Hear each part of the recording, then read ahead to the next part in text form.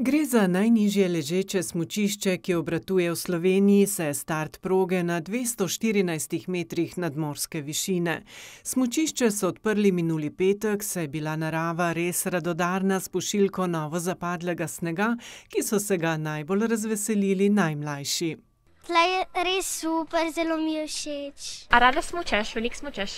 Ja, zelo rada in veliko, natečajev sem bila tem. Pri Mateji. Včeraj sem bil kar presenečen, kako sem znal smučati pa kako sem bil hiter. Na svoj račun pa pridejo tudi starejši ljubitelji belih strmin. Ja, ima tudi nočno smuko, pol do vznožju smučišča imamo sankaško progo, tam ob, na desno stran imamo pa tudi tekaško progo urejeno. Poleg naravnega snega so si pomagali snežnimi topovi.